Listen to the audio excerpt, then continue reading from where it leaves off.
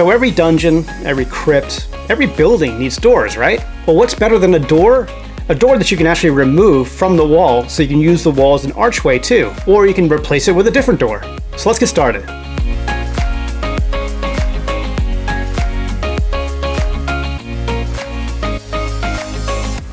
So you'll notice that pocket doors are very similar to regular walls. There's, the only difference really is that the interior section is broken into two pieces. There's a frame and then there's an insert. But for the outside walls, we're going to do the same thing. We're going to use some pre-textured wall strips. And for the interior pieces, we'll use the uh, untextured strips.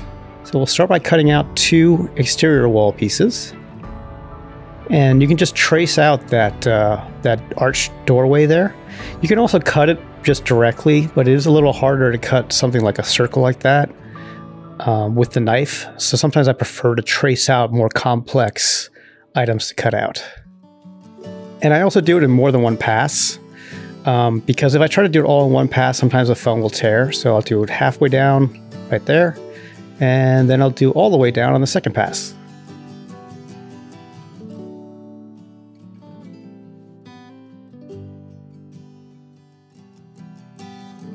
And just do one more like that.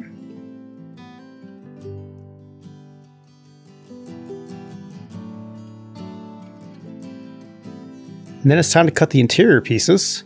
First, we're going to do the interior, the middle section of the wall itself. And you'll notice there's that gray bar for scaffolding, just like we had on the uh, scoring sled jig. And just make sure you cut through all the scoring slits. And then we're going to cut out the areas in the middle of the pocket itself. And then we'll gently break apart the separate sections at the score lines. Just make sure for that interior pocket piece there, it's got some pretty thin arms, so make sure that you support them when you snap them apart. And then we're just going to add a simple texture to that interior piece because that's going to become our door. And uh, yeah, I usually just use a dull pencil. So I'm going to draw out the beams and you'll see they're kind of rough. I, I'm, I'm fine with them not being perfect. In fact, I think they look better if they're not perfect.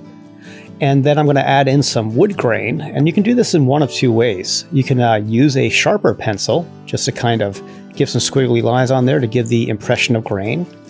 And you can also use your utility knife, which you have on hand. Uh, you can also use that to kind of cut in some little lines.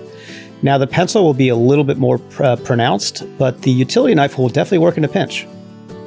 For the for the knob of the door, I do uh, I basically use something anything that's kind of round and uh, that I can press down into the foam, because remember it has to be pressed into the foam so you can still like you wouldn't add a ring to the door like you do in the tavern stores because then you wouldn't be able to insert and remove the door from the pocket because the ring would be in the way. And then it's time to uh, glue all the pieces together. We're going to start with uh, gluing the wall piece to the interior.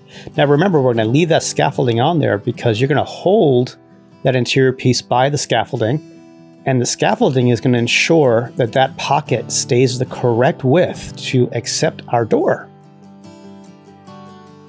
So as just like with the regular walls, you're going to make sure you don't put any glue on the bottom part of the interior piece because that's going to be in the gutter between the grid squares.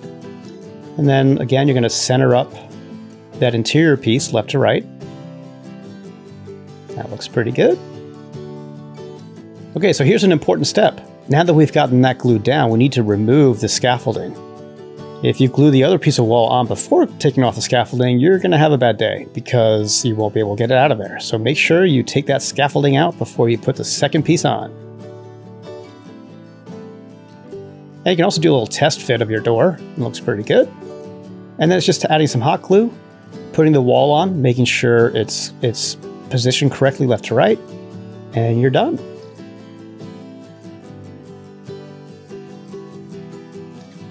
All set for paint.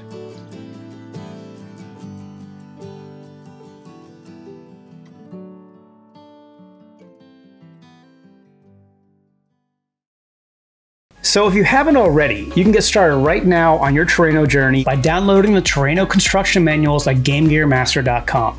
They are consistently rated 5 stars and come with a 14-day hassle-free money-back guarantee. That means if Terraino's not for you, No problem, you'll get your money back, no questions asked. Happy crafting!